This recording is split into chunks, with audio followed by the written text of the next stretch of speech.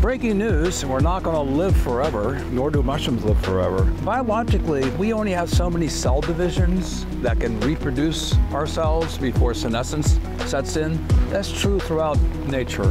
So, what is senescence? Well, senescence means literally you're, you're getting old and you can't heal as quickly.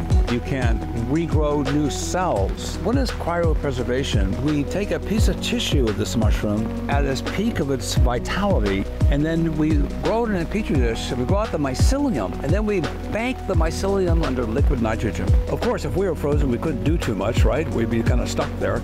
But the mycelium then can be expanded as we need it, and we make many backups, replicates. So even 100 years from now, the mushroom that we have isolated the culture from may only be a week old genetically, a baby with a huge potential for downstream cell divisions and longevity 100 years from now. This culture bank is just absolutely essential, we think, for future research. The more we study these mushrooms, the more excited we become.